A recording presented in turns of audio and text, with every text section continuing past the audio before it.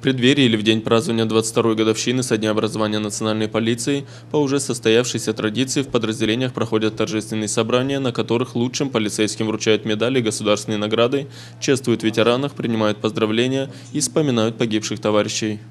Всех полицейских э, в Республике Молдова с, с праздником, пожелать им э, успехов в работе, здоровья для того, чтобы эти успехи развивать. Ну и всего наилучшего. личному составу прежде всего спокойной службы, здоровья.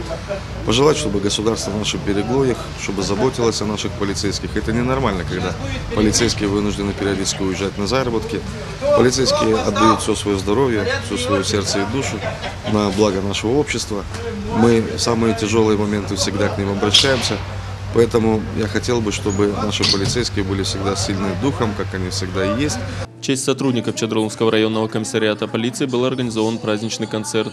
Свои песни исполнили известные гагузские исполнители, коллективы Центра детского творчества и Единого культурного центра города Чадролунга.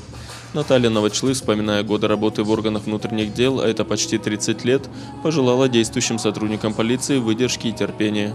А, Я считаю, что бывших коллег не бывает. Я тоже считаю себя а, частью а, той трудной работы, которую мы проводили вместе. В этот э, праздничный день я всем желаю здоровья, терпения, э, благополучия в семье. И самое главное, чтобы вы постоянно были на службе нашего народа. Именно 18 декабря 1990 года был принят закон о полиции, который определил место, роль и принципы деятельности полиции в системе органов Центрального местного публичного управления. Завершающим аккордом праздничного концерта прозвучала песня «Офицеры», ставшая своеобразным гимном людей, которые носят погоны.